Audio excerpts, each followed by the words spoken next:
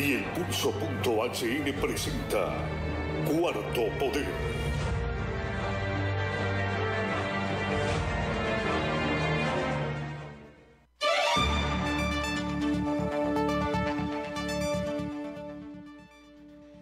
Buenas tardes, amigas y amigos, bienvenidos a esta emisión de Cuarto Poder Radio Globo, porque usted tiene el derecho a saber el contenido de la información que se encuentra en organismos y funcionarios gubernamentales. Esta información ha sido obtenida con los dineros de los contribuyentes, pertenece al pueblo. Le saluda Ronald López, Cristian Marideaga, su servidor Carlos Paz López y nuestro compañero Ramón Ochoa por la vía virtual. Gracias al Observatorio del Poder, plataforma digital que busca informarle sobre el poder legislativo de, nuestra, de nuestro país. Las funciones de los diputados en las comisiones ordinarias, comisiones especiales, donde se dictaminan los proyectos que se convierten en ley para la nación hondureña, el cumplimiento de forma transparente para que usted pueda obtener o hacer de esta información su propio criterio a la hora de tomar decisiones en su participación en los asuntos o acontecimientos políticos, económicos, sociales del país. Gracias a Diario Digital El Pulso, un equipo de compañeros periodistas que también promovemos o tratamos de generar pensamiento crítico sobre la realidad sociopolítica, económica, cultural de nuestro país.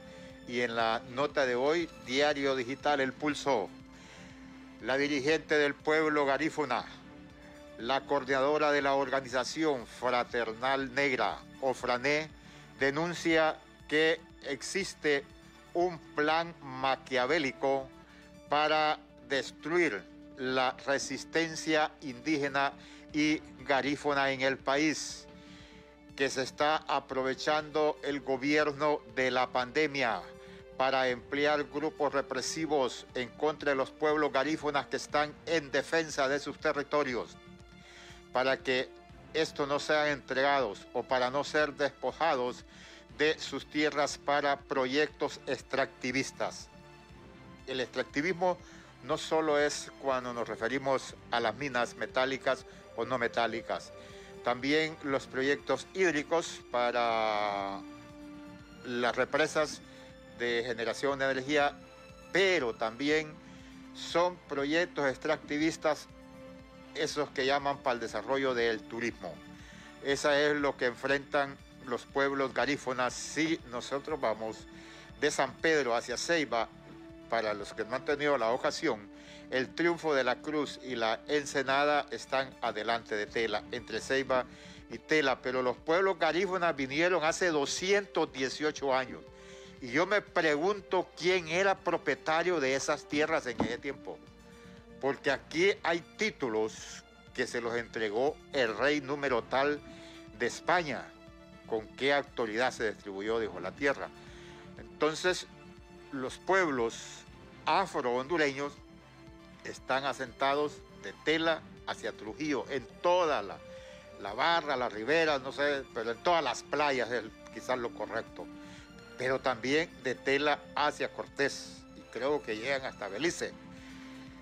Ya lo que fue eh, Tornabé y una comunidad que se llama Miami, entre Tela y, Cortés, si uno se va por la playa, fueron despojados. Y yo me pregunto, ¿en qué ha cambiado la, la vida de los pueblos garífonas?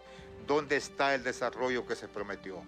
Yo veo que siempre están sus chozas. Yo esperaba que cuando los despojaran de su tierra, a donde los reubicaran, les hicieran una colonia con todos los servicios básicos, incluyendo su centro de salud instalado con médicos y enfermeras donde les pudiera prestar atención de estar internos para tratamientos de médicos, hospitalarios, de no gravedad. Pero sin embargo, ellos siguen viviendo en sus chozas de Manaca. y lo que hacen es tocar sus tambores y bailar. ¿Y qué ha pasado? Si antes podían pescar en esa franja del mar, ahora no pueden pescar porque ahí vienen a, deleitarse en sus francachelas magnates, magnates que juegan golf, que juegan boliche. Lo boliche lo tenemos en duda porque han estado en su interior, pero el golf sí, he visto. Que existen. Ahora quieren despojarlos porque cuando se mediatizó, que se anduvo promoviendo, era la Ensenada, el Triunfo, Miami, Tornabé.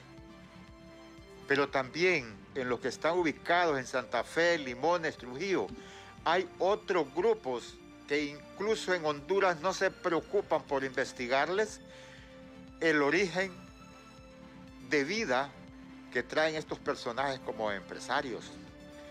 Eh, construyen hoteles, mansiones, yo creo que ahí ni las autoridades nuestras pueden llegar, nadie sabe qué es lo que hacen, qué es lo que guardan, solo por el famoso desarrollo y la inversión extranjera.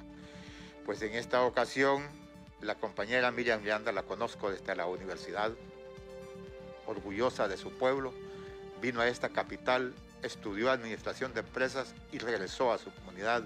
Y hoy la lidera y durante estuvo en la universidad fue de planteamiento progresista. Militaba en el Frente de Reforma, me recuerdo, y el cual pues tuve la oportunidad de dirigir y hoy dirige a su pueblo. Está denunciando que existe un plan, o sea que son cuestiones aviesas para destruir la resistencia que están haciendo en defensa de sus territorios. Y yo les reitero, estimado oyente y los que nos ven en las redes sociales de Globo TV y Cuarto Poder, pregúntese usted quién era propietario de esas tierras hace 218 años que ellos, sus antecesores, llegaron a Punta Gorda, si no me equivoco, se llama el lugar específico donde llegaron los primeros garífonas a nuestro país. Hay cuatro desaparecidos, han transcurrido los días, nadie brinda información de ellos. Los testigos aseguran que los que los secuestraron, los raptaron, tenían vestimenta policial y militar de los entes de investigación y policía y hay que incluir que la policía militar, aunque sea una rama de las Fuerzas Armadas, actúa en el rango policial. Así está la situación, no sé si ya se encuentra el compañero Ramón. ¿Ya está Ramón? Buenas tardes Ramón, bienvenido. Buenas tardes, don Carlos Paz. Saludos a todo nuestro auditorio. Hoy día viernes finalizando ya la semana. Gracias a Dios, gracias a Dios que nos permite pues culminar una semana más de trabajo porque eso es importante en Honduras, por lo menos estar con vida. Don Carlos, hoy vamos a abordar el tema económico, pero es interesante lo que está platicando usted sobre estos eh, eh, grupos ancestrales de nuestro país que sufren por los intereses económicos, por los intereses empresariales. Eh, ese proyecto, pues Bahía de Tela, que ha llegado a generar conflictos también con tierras o territorio garífuna y otros sectores que son afectados también, don Carlos. En otros programas hemos hablado de allá de la zona de La Paz, de Intibucá, donde hay proyectos hidroeléctricos que llegan a afectar territorios, en este caso lencas, que según convenios internacionales, dichos proyectos o el gobierno tiene que consultar a las poblaciones, pero aquí no se le consulta a nadie, aquí se hace lo que le conviene a los diferentes grupos económicos del país. Pero bien, don Carlos, eh, entrando en materia con este tema que vamos a abordar hoy, el tema económico, qué va a pasar en los próximos seis meses, este semestre, el primer semestre de este país fue duro económicamente, ya sabemos, los cuatro meses que tenemos de pandemia nos han afectado, vienen otros seis meses más duros, nos hemos complicado todos económicamente, los grandes empresarios, los trabajadores siguen sufriendo repercusiones, despidos en gran cantidad, el cierre de las empresas. Y bueno, ya estamos entrando supuestamente a una nueva normalidad la otra semana, eh, la apertura del comercio, la apertura total, porque a pesar de que se habla de fases, eh, no sabemos llevar los controles, ni las autoridades, ni nosotros como pobladores, y al final el lunes todos vamos a salir, como lo digo popularmente, se va a abrir el corral y vamos a andar todos en la calle trabajando porque tenemos necesidad de reinsertarnos en la vida económica. Pero ¿qué, ¿qué hallazgos vamos a encontrar a partir de la próxima semana? Repito, una gran cantidad de comercios cerrados, la crisis económica, empresas que no van a tener capital para poder eh, reabrir sus operaciones, los desempleos, eh, niveles económicos o indicadores económicos negativos. Pero ¿qué hay del gobierno, don Carlos? ¿Qué hay de la recaudación? También va a sufrir un impacto. La administración del Estado, que se maneja a través de fondos de recaudación o de fondos que vienen del extranjero y que al final generan más deuda y más deuda pública cada año, pues eh, en este semestre se vio reducida la recaudación fiscal, el primer semestre del 2020 a un, a un 70% de lo que estaba programado y al parecer va a ser más duro según los indicadores que se vienen en el próximo semestre. ¿Cómo va a ser el Estado entonces? Para poder operar, para poder pagar sueldos y salarios, que en eso se va la mayoría del presupuesto del Estado. Con nuestro invitado vamos a, a dialogar sobre eso esta tarde, don Carlos, pero antes le recuerdo, si no está nuestro invitado en línea Adelante. Todavía, o me confirma. Adelante. Sí. Ok, le recuerdo, le recuerdo que llegamos por cortesía de Sanigel, que es el primer sanitizante de manos fabricado en el mercado hondureño. Recuerde, ahora está en sus manos cuidarse, porque en cualquier lado se puede contagiar de COVID-19. Dentro de poco llegaremos a los 40 mil casos a nivel nacional y quizás hay más, dicen los epidemiólogos, multiplíquelo por 10 entonces, si hay 400 mil, en cualquier lado está el virus, a donde vaya, a la pulpería, a la farmacia, así que tiene que portar su mascarilla si sale a la calle y, por supuesto, tener el gel desinfectante, el gel de manos, pero que sea de Sanigel, que cumple con los requerimientos internacionales, 70 grados de alcohol. Pero también usted tiene contacto con varios objetos y esos objetos también pueden contener el virus, así que desinfecte, si abre una puerta, desinfecte el llavín, eh, si agarra dinero, desinfectelo también. Y todo lo que usted toque tiene que desinfectarlo, pero que sea con Sani Solución, que es el Sani en líquido, donde usted a través de un spray también puede utilizarlo para desinfectar y evitar contagiarse del virus. Sani Gel, recuerda, lo encuentra en los principales eh, supermercados, farmacias, mercaditos y pulperías de nuestro país. También llegamos cortesía de Banco Atlántida, que le recomienda por su seguridad Realizar sus transacciones bancarias desde el celular. Si no tiene su usuario, puede crearlo usted mismo. Descargue la aplicación Atlántida Móvil y seleccione Activa tu banca digital. Complete la información que le solicitan, acepte los términos y condiciones y así de fácil. Usted ha creado su usuario de Banco Atlántida sin necesidad de ir al banco y ya tiene acceso para realizar más de 400 transacciones como consultas, pagos, transferencias a otros bancos y mucho más desde el celular. Digital donde estés, Banco Atlántida. Imagina, cree, triunfa. Banco Atlántida, digital donde estés. Realiza más de 400 transacciones bancarias sin salir de casa, desde tu celular con Atlántida Móvil o ingresando a www.bancatlan.hn desde tu computadora y realiza tus consultas a nuestra asesora bancaria interactiva AVI por Facebook Messenger o agregando el 2280 1010 a tus contactos de WhatsApp. Banco Atlántida. Imagina, cree, triunfa.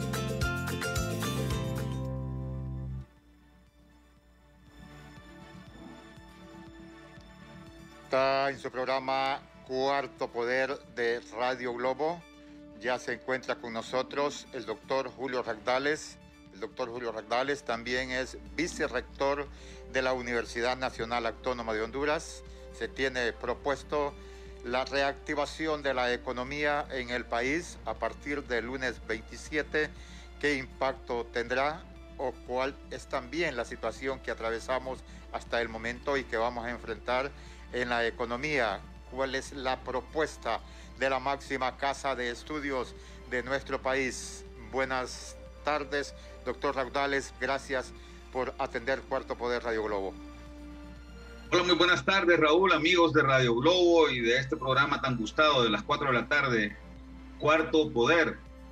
Eh, mira, yo coincido mucho con lo que estaban diciendo ustedes a, a la altura de la nota Eh, la, en este caso, desde mi perspectiva, uno de los sectores que tiene que, a los cuales se le puede ver mayor ganancia en este tema es más bien al gobierno. Eh, las cifras de finanzas son escalofriantes a la fecha, el 30 de junio, que son, es el último dato que se tiene sobre recaudación. Y se habla de casi un, entre un 25 y un 30% de, de brecha, es decir, eh, más o menos de lo que se había planeado recaudar, eh, no se ha obtenido una cuarta parte. Y esto definitivamente le va a causar un perjuicio grave al, al sector gobierno y por ende a la economía del país también. Pero si hablamos de sectores, como bien lo decían ustedes, la gran mayoría de trabajadores hondureños y trabajadoras son eh, del sector informal. Eh, casi uno de eh, tres de cada cuatro trabajadores en Honduras, en rigor, son informales. En Honduras hay cuatro, más o menos 4.2 millones de trabajadores, de los cuales menos de un millón, menos de un millón están formalizados en el sentido que la ley lo exige y en el sentido que lo define también la Organización Internacional del Trabajo. Es decir, una persona es un trabajador formal si tiene un, acuerdo, un contrato de trabajo y si tiene además eh, un plan de seguridad social, un plan de retiro. Y esa no es lamentablemente la realidad en general para la inmensa mayoría de los trabajadores y trabajadoras hondureñas. Eh, como les decía, tres de cada cuatro trabajadores en el país son informales, tienen que irse a buscar día a día la vida sin... Eh, eh, eh, más eh, recursos que sus propias habilidades y sin ninguna garantía, ¿verdad? Entonces, esa gente ha seguido saliendo. En Tegucigalpa, en San Pedro Sula, quizás el porcentaje de informalidad es un poco más bajo, probablemente anden un 60%, pero igual estaríamos hablando entonces de que si en, en, Tegucigalpa hay, por ejemplo, en este momento 400 mil trabajadores, estaríamos hablando entonces de que hay 240 mil que son informales y solo 160 mil, eh, entre los cuales eh, la gran mayoría son empleados públicos. Lo que da formalidad a las ciudades grandes, sobre todo a Tegucigalpa, es el empleo público, el ser profesor, profesora en el sector público, el ser doctor, doctora o enfermera o, o trabajador de la salud, o el ser un eh, empleado de oficina pública, trabajar en una empresa pública, trabajar en la universidad. Eso es fundamentalmente lo que le da mayor eh, posibilidades a las grandes ciudades de mantener un porcentaje de formalidad en el empleo. Pero en general, la gran mayoría, aún en Tegucigalpa y en San Pedro Sula, de trabajadoras y trabajadores sigue siendo eh, trabajadores informales. Entonces, ¿qué pasa? Esta gente no dejó de salir nunca yo recuerdo que ya parece lejano esto, ¿no? Pero hace cuatro meses ya, en el, en el mes de marzo, a mediados del mes de marzo, que se cerró eh, y que comenzó la famosa cuarentena, eh, durante una semana, máximo dos, yo diría que hubo una, una suerte, sí, de usted, la gente que salía a la calle, bueno, yo no salí, pero uno podía percibir que las calles estaban como las de, las de Tegucigalpa el Viernes Santo, ¿no? Eh, prácticamente vacías. No había gasolineras, no había farmacias abiertas, ¿verdad?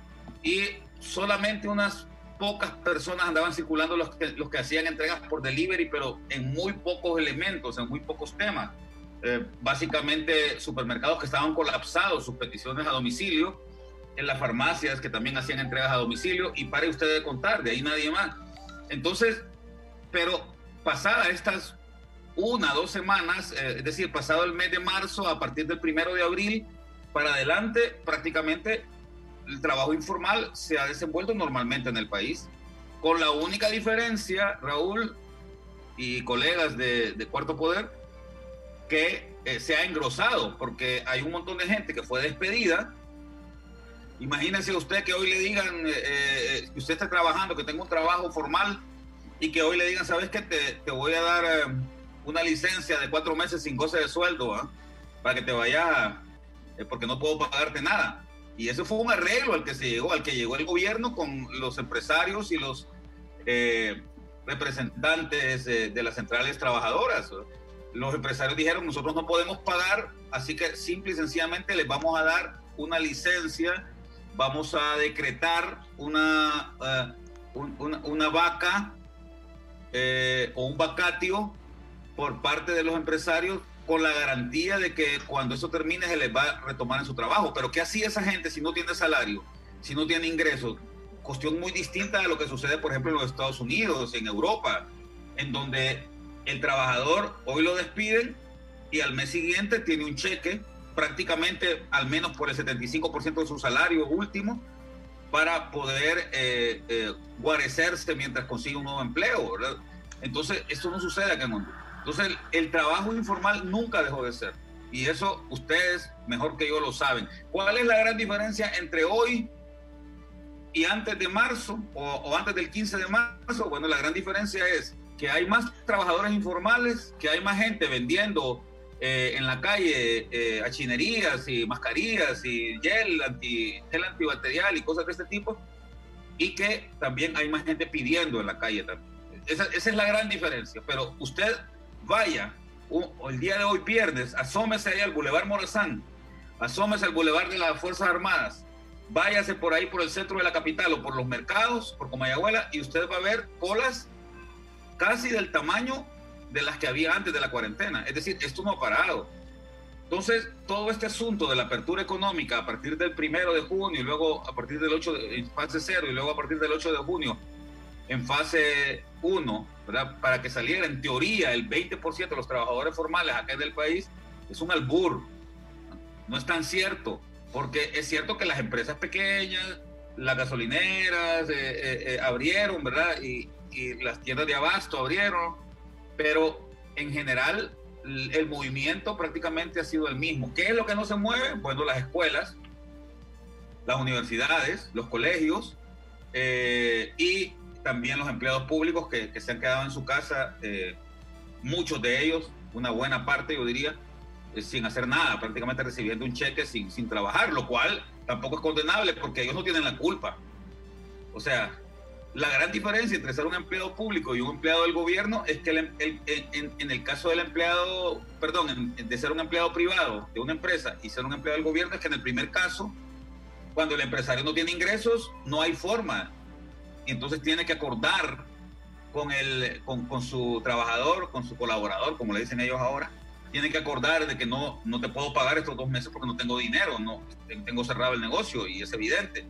En el caso del gobierno, la Asociación Nacional de Empleados Públicos, los sindicatos de los distintos entes eh, eh, gubernamentales, como la ENEL, SANAA, la universidad, etcétera, etcétera, exigen y dicen, nosotros qué culpa tenemos de que el gobierno nos diga que no lleguemos a trabajar, ¿verdad? Tienen que pagar nuestro salario sí o sí. Y esto es lo que le genera el gran problema al gobierno. ¿Por qué? Porque el gobierno recauda, vive de las recaudaciones eh, que eh, generan, se generan por el movimiento económico. Y si los trabajadores, perdón, y si las empresas cierran, no hay ventas, el principal agente recaudador, la principal institución recaudadora del país en Honduras es el impuesto sobre ventas. Y si no hay ventas, si las ventas se cayeron, si ya no hay eh, restaurantes abiertos, si no hay eh, eh, tiendas de ropa abierta o tiendas de electrodomésticos o cosas de ese tipo, pues el impuesto sobre ventas se ve lacerado fuertemente. El otro gran impuesto, más o menos un, un 45% de los impuestos que se recaudan en Honduras son por el impuesto sobre ventas. El otro gran impuesto, que es más o menos el 30%, es el impuesto sobre la renta. Pero si las empresas no están vendiendo, obviamente no tienen ganancias y no tienen ganancias, no pueden pagar impuesto sobre la renta tampoco, ¿verdad?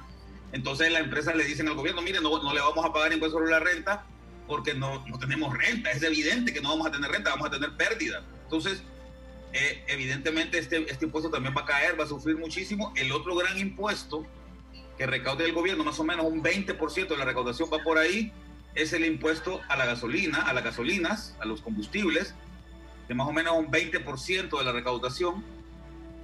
Y evidentemente también la falta de transporte público, la falta de movimiento que da, ha hecho que también el consumo de combustible eh, baje sustancialmente en el país y por lo tanto uno ya no paga tanto impuesto tampoco por cada galón de combustible y entonces eso también cae. Entonces, ¿qué sucede? El gobierno se ve con un gran problema al no recaudar. ¿Y qué hace el gobierno? Bueno, en el presupuesto que presentaron en diciembre del año pasado, dijeron que iban a recaudar 114 mil millones de lempiras. Eso, si las cosas siguen tal y como van ahorita, van no van a llegar ni siquiera a 70 mil millones de los 114 mil. Por lo tanto, van a tener lo que se llama una brecha o un gap de recaudación de, digamos, más o menos unos 40 mil millones de lempiras que no van a recaudar. ¿Cómo van a hacer? Bueno, primero el gobierno dijo, dijo que iba a hacer un recorte del gasto, que iba a recortar el 15% de su gasto. Esa fue la primera medida que tomó. Ok, 15% del gasto sobre un presupuesto de gastos que ya andaba alrededor de más o menos 200, eh, perdón, 160 eh, mil millones de lempiras, eh, es, es, es, digamos, un ahorro de más o menos unos 25 mil millones de lempiras.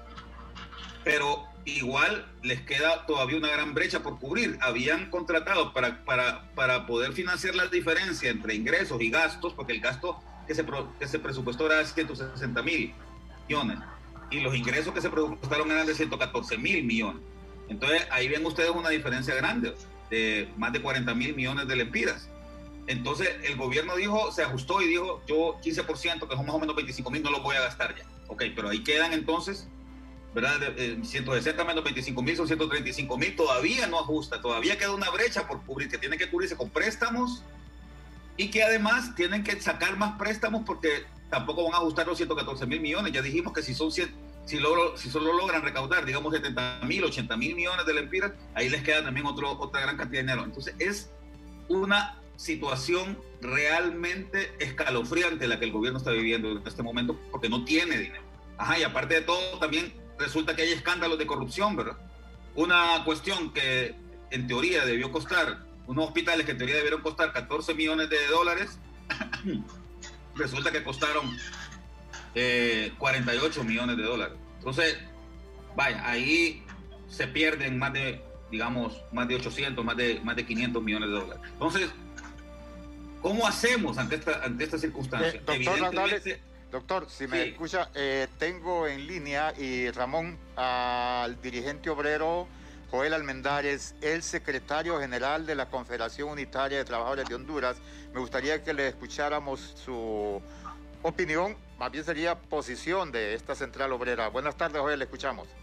Con mucho gusto. Buenas tardes, Carlos. Un saludo ahí al, doctor Julio Raudales, una persona consecuente y muy estudiosa. Eh eh, de la parte financiera, económica del país y con buenos números, buenos datos. Y, bueno, nos alegra escucharlo. Nosotros como confederación hemos estado siempre defendiendo los derechos de los trabajadores, viendo que no se transgreda el derecho que tiene al trabajo, pero que también cuando hay suspensiones y despidos se hagan con los procedimientos eh, de acuerdo a la ley que no se violente el Código del Trabajo, los convenios internacionales, la misma Constitución de la República. ¿Qué ha pasado aquí? Mire, tres días tenía de haberse anunciado el decreto que, que suspendía las garantías constitucionales y que íbamos y ya las maquilas que son grandes transnacionales que venden en dólares, que ganan grandes cantidades de dinero y que ellos mismos los publican, a los tres días ya estaban suspendiendo la gente por cuatro meses, por 120 días. A los tres, a los tres días ya estaban diciendo que iban a despedir y a correr gente. Y vea, y tenemos otro problema que nosotros hemos denunciado.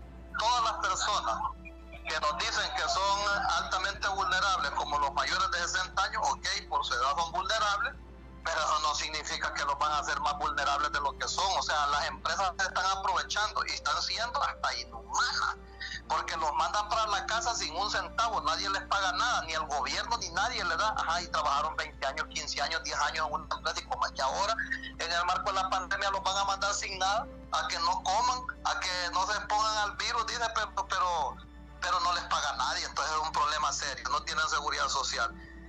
Y eh, creo que las denuncias que hemos hecho nosotros han sido enmarcadas en ley, hemos hablado eh, con muchas empresas grandes porque aquí hay gremios de las empresas privadas que hablan por la micro y la pequeña empresa, pero el discurso, pero realmente los grandes gananciosos de todas las cosas son los grandes empresarios. Por un lado y por otro lado es que el gobierno tiene tan mala imagen que a nadie le cree nada, ¿va? una mala imagen terrible que, que lo ve. Si el gobierno va a hacer algo, todo el mundo ve que hay corrupción porque eso es lo que han demostrado. No han demostrado transparencia, no han eh, mostrado suficiente, eh, eh, que le digo, buen manejo de las cosas.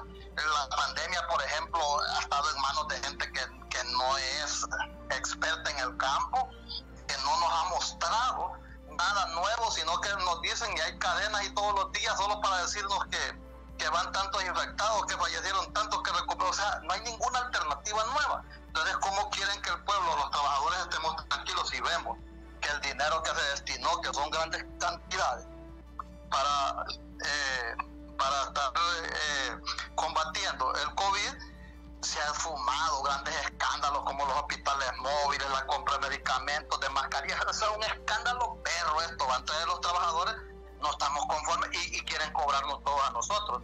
Yo creo que eh, uno ha de estar eh, completamente seguro que las denuncias que hemos hecho son enmarcadas en ley. que aquí han transgredido la ley los grandes empresarios, muchas veces el mismo gobierno eh, imagínense lo que se dio, por ejemplo, la gente me decía que el le está regalando el RAL, no, si el RAL le, dio, le devuelve a los trabajadores lo que tenía ahorrado. Y el gobierno ahí solo puso mil empiras, y la mayoría de esas empresas son micro y pequeñas empresas las que cotizan. Ahí sí hay gran empresas, pero la mayoría son pequeñas.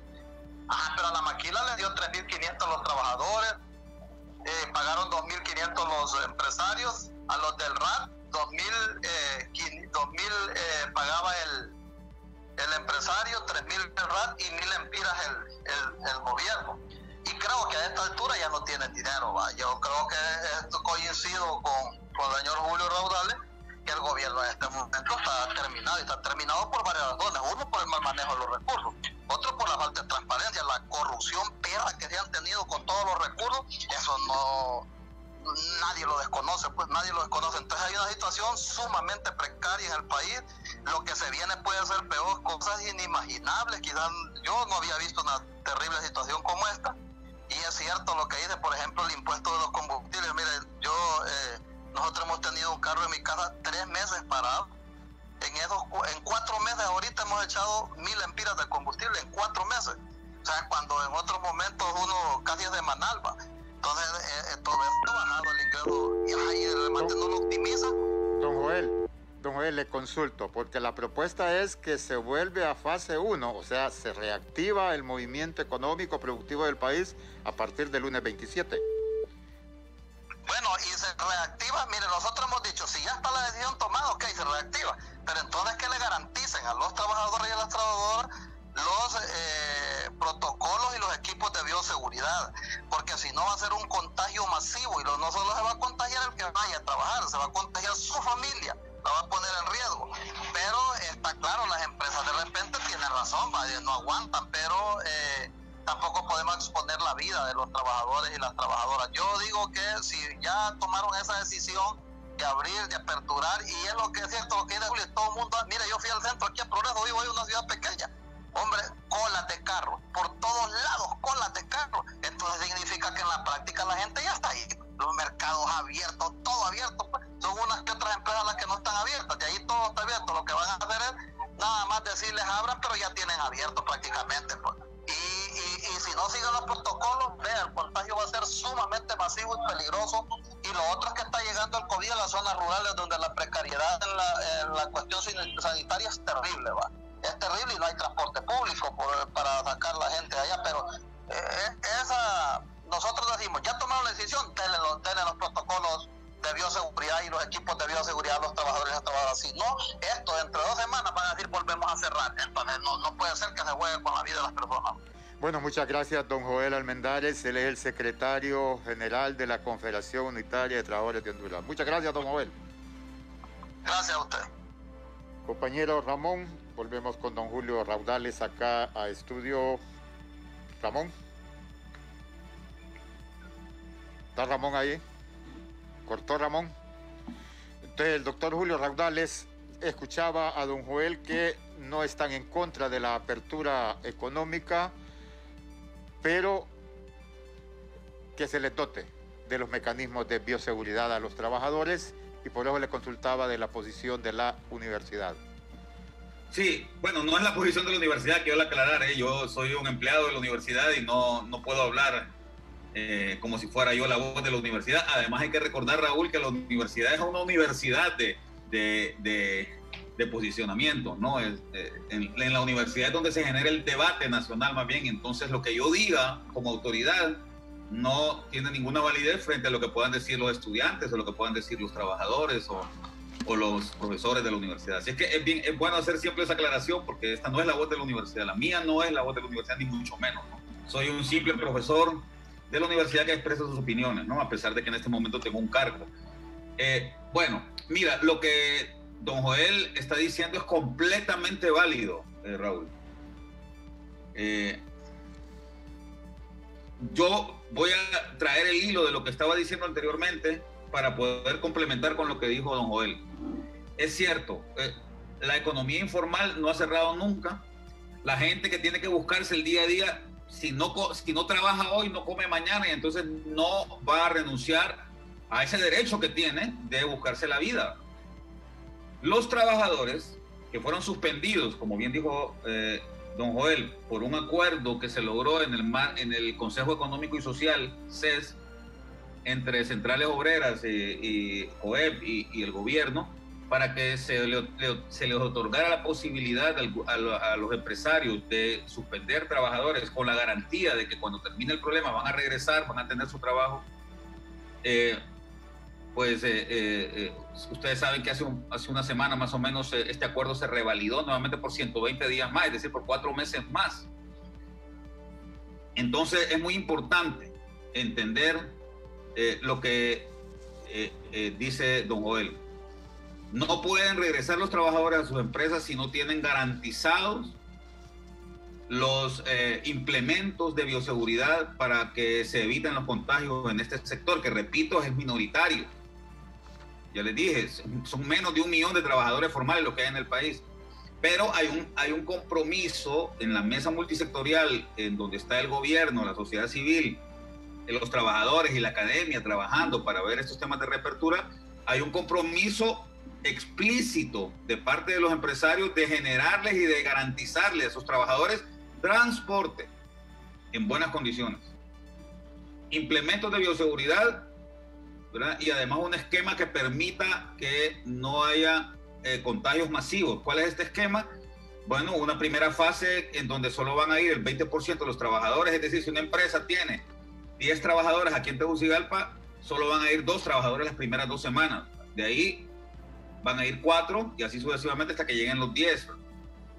Eh, lo mismo eh, eh, va a suceder en todo el resto del país. Hay que recordar que hay tres regiones también. La región número uno, que son más de 200 municipios que prácticamente tienen cero casos de, de COVID y que van a comenzar entonces eh, en, una etapa posterior eh, su, su, apertura, porque en, esos, en esos eh, municipios hay, pues, hay menos peligro. Lo que sucede es que ahí tenemos un problema, Raúl, también, y es el tema de qué es lo que los alcaldes dicen.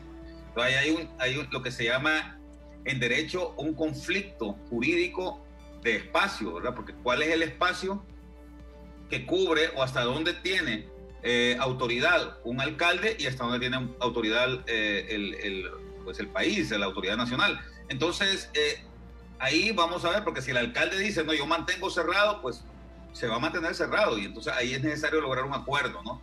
Hay una, un, segundo, una segunda región que son más o menos eh, unos 50 municipios, 50, 70 municipios en donde sí hay una buena cantidad de población y han, habido también casos, una cantidad importante de casos de COVID en donde eh, se comienza en una etapa previa o en una, etapa, digamos, más sigilosa que la de la zona 1 o la de la región 1, y la región 3, que es la que cubre unos pocos municipios, ¿verdad? unos 13 municipios que son Tegucigalpa, San Pedro Sula, El Progreso, La Ceiba, Choluteca, Copán, ¿verdad? que son, eh, eh, perdón, no es Copán, es la entrada, que son los municipios que han, que han demostrado que por su gran cantidad de, población que tienen, han tenido una mayor cantidad de casos en, este, en estos municipios, en esta región 3, es donde se comienza con el 20% en la, en, la, en, la primera etapa. Ahora, yo vuelvo a lo mismo, eh, Raúl.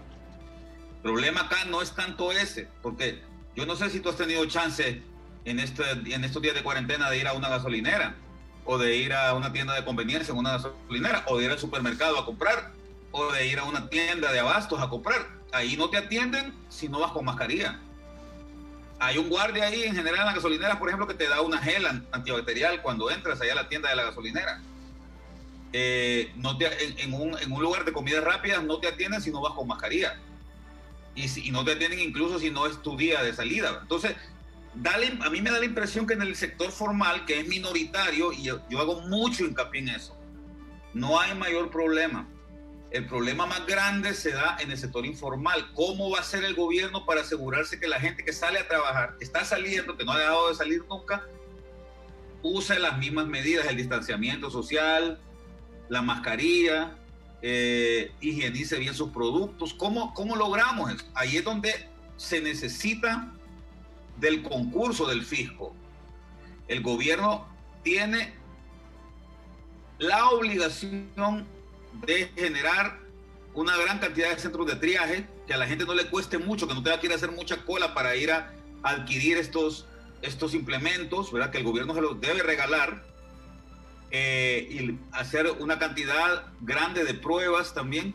Entonces, es ahí donde, donde le corresponde al gobierno. Por eso es que yo he insistido tanto, y con esto concluyo, Raúl, por eso es que yo he insistido tanto desde que comenzó este proceso en la necesidad de que el gobierno enfoque bien su gasto, lo haga más transparente. ¿Y cómo se hace esto? Bueno, un primer paso, con esto termino, sí, y te lo menciono. En cualquier país serio del mundo, ante una situación como esta, el gobierno reestructura su presupuesto, manda un nuevo presupuesto al Congreso, porque el presupuesto que se aprobó en diciembre del año pasado, Raúl, ya no representa, no está de acuerdo con la realidad que el país está viviendo ahora. Entonces, esto es importantísimo, es crucial, porque el gobierno debió haber hecho un nuevo presupuesto con unas nuevas líneas de gasto muy dedicadas al tema del control de la pandemia. Estamos en el mes de julio, a mitad de año, más de mitad de año ya, y el gobierno no ha enviado ningún proyecto de presupuesto al Congreso. Esto es crucial, porque esto le da transparencia. Voy a tener las líneas presupuestarias en las que el gobierno va a gastar y ya poder darle seguimiento y decir, ajá, se va a comprar tantos hospitales, ¿cuánto dinero es? ¿A dónde está ese dinero? Entonces, es mucho más fácil cuando tú tienes un presupuesto en línea ya bien definido. Si en este momento el presupuesto, la caja del gobierno, bueno, siempre ha sido, casi siempre ha sido así, pero, pero sin un presupuesto es mucho más difícil. La caja del gobierno es una cosa de la que todo el mundo agarra, de acuerdo a las necesidades. Cuando tú no tienes ese control que te da un presupuesto, es más difícil que logres solventar un problema. Yo he insistido hasta la saciedad con este tema y no se ha hecho y creo que es una de las razones fundamentales por las cuales eh, la situación no se ve bien por venir. Doctor Raudales, se reconectó el compañero Ramón. ¿Está Ramón en línea? No. Ya para concluir, doctor, le consulto porque se usan a veces muchos términos como el PIB. ¿Cuánto es el PIB en el país? Y de esa empresa estructurada que hablamos, ¿qué cantidad se ha sentido o porcentaje afectada? Esa pregunta, bueno, es, muy interesante, Raúl. Eh, el Producto Interno Bruto, que se llama así, es más o menos como los ingresos que el país tiene en un año, por ejemplo. Puede ser en un mes o en un trimestre, pero generalmente el Producto Interno Bruto, el PIB, se mide en un año. Entonces, el Producto Interno Bruto son los ingresos que se van a tener tanto por trabajo, es decir, la suma de todos los salarios que gana la gente, tanto los ingresos que tiene por, su trabajo, tu ingreso más mi ingreso, más el ingreso de los vendedores ambulantes en la calle, todo eso se suma más la ganancia de los, de los dueños de, las empresas, ¿verdad? Las ganancias que ellos tengan también eso se suma, más las ganancias que tiene la gente que eh, eh, arrienda sus propiedades. Eso es básicamente el Producto Interno Bruto, ¿verdad? ¿Cuánto ganamos todos nosotros los hondureños en un año, ¿verdad?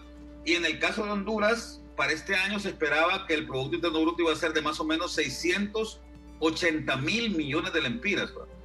Deténganse un momentito a pensar en esa cantidad de dinero, que yo no me la imagino. 680 mil millones. Imagínense que para meter un, millón de lempiras serían cuántos billetes de 500, Raúl. Un millón de lempiras eh, eh, eh, necesitarías para, para, tener 100 mil lempiras. necesitarías eh, eh, eh, 50, 500 billetes de 500. 500 billetes de 500. Entonces, solo para que te hagas, para que te hagas una idea, o, mejor dicho, 2.000 billetes de 500 para tener un millón de lempiras. Entonces estamos hablando de 680 mil millones de lempiras. ¿En, dónde cabría una cantidad de dinero así? Bueno, ese es el Producto Interno que se esperaba que iba a haber en Honduras este año, para ponerlo fácil. Resulta que ya no va a ser eso. ¿Cuánto sería la caída? ya no va a ser eso. Si el año pasado tuvimos 620 mil millones de lempiras, 640 mil millones de lempiras de Producto Interno Bruto, ¿verdad? Y este año esperábamos tener 680 mil, o sea que iba a crecer, el Producto Interno Bruto iba a ser mayor este año que el del año pasado. Bueno, el año pasado fueron 640 mil millones y este año esperábamos que íbamos a tener 680 mil, ya no lo vamos a tener. Vamos a tener 600 mil millones o un poco menos. O sea, la producción va a caer según el Banco Central de Honduras, que son las cifras más optimistas que hay, según ellos va, a caer en un 6 o 7%, o sea, va a ser 6 o 7% menos de lo que se esperaba. Según la CEPAL y el Banco Mundial, que son cifras menos, menos optimistas, más pesimistas, puede caer hasta en un 9 o 10% el Producto Interno. Entonces estamos hablando de una gran caída, o sea que para el otro año, Raúl, los hondureños todos en general vamos a ser más pobres. Ahora, unos van a ser más pobres que otros, por supuesto. Y eso es muy triste, porque lo que dicen las cifras también, lo que dice la CEPAL y los cálculos que hemos hecho nosotros en la universidad también, es que más o menos van a haber un millón de personas más en pobreza extrema. En este momento hay 350 mil, perdón, 300, eh, perdón, 3, millones 500 mil personas, de 10 millones que hay en Honduras, 3 millones 500 mil están en pobreza extrema. Y va a haber un millón más para el próximo año. O sea, el otro año va a haber 4 millones 500 mil personas en pobreza extrema. En este momento hay 6 millones 500 mil personas total en pobreza, pobreza total, no solo pobreza extrema, sino pobreza total. Pues el otro año van a haber 7.5 millones de personas, o sea, casi el 75% de la población en pobreza extrema, lo cual es sumamente grave. Y creo que en el país tenemos que hacer algo, cambiar algunas cosas si es que deseamos que esto se revierta, Raúl, porque si no, la situación se va a poner muy complicada en el campo de la gobernabilidad. Le agradezco mucho, doctor Julio Raudales, expresidente del Colegio de Economistas, exministro de Cooperación Externa de nuestro país y vicerrector universitario. Le agradecemos mucho el atendernos siempre. Usted nos atiende, doctor, a Cuarto Poder Radio Globo. Muchas Con mucho gusto, Raúl. Encantado. Es dramática la situación post pandemia para el país quizás a ustedes no les interesa, dicen, bueno, no tengo empresas, y Carlos, ¿para qué habla de economía con Ramón si tampoco son empresarios? Porque nos da la idea que la empresa es esa que se habla, esa empresa estructurada, pero toda actividad económica, incluyendo hasta el mismo trabajo que uno ejecuta, es su propia empresa y dependiendo del comportamiento que tenga la economía en todo el país, impacta en uno como persona, porque usted se ve obligado a tener que comprar de esos productos de la empresa. ¿Tenía línea? Sí. Buenas tardes, Ramón. Conclusiones, ya nos queda poco tiempo. Sí, sí, sí, gracias, gracias a Julio Raudales, mil disculpas al auditorio por las fallas técnicas de estas empresas, pues uno se mueve un poquito y ya se corta la señal. Mire, siempre es interesante escuchar a don Julio Raudales, muy ponderado en sus comentarios y muy acertado.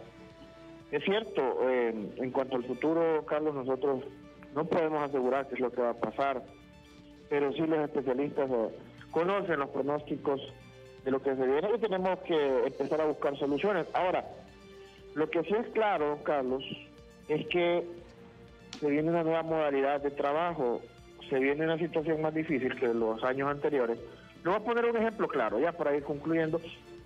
Eh, mirábamos profesionales, jóvenes recién graduados de educación media, graduados de las universidades, repartiendo currículos por todos lados, porque no, es difícil encontrar trabajo en Honduras.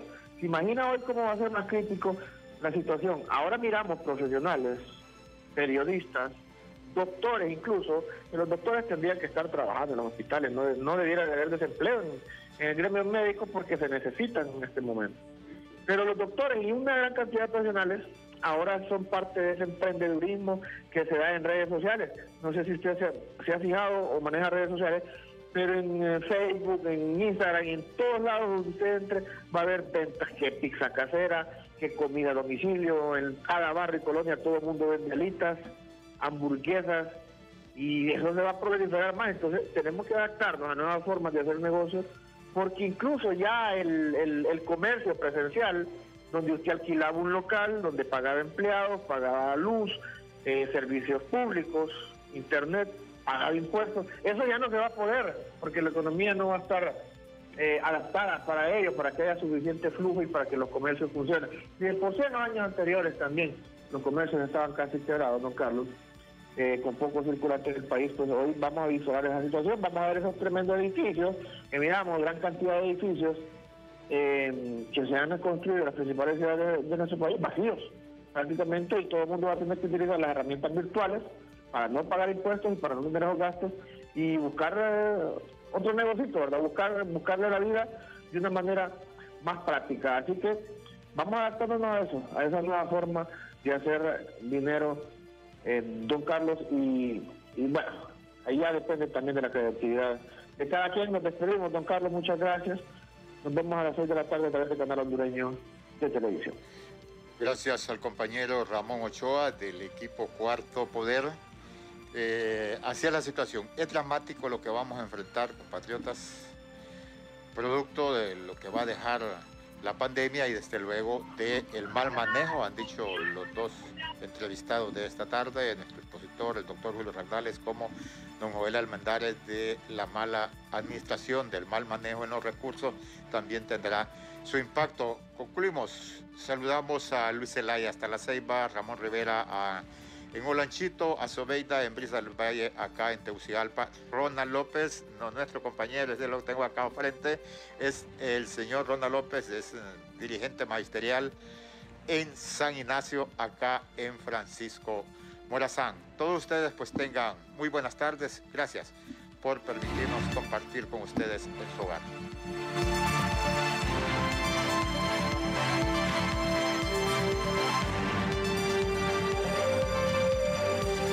Observatorio del Poder y el Pulso.hn presentó Cuarto Poder.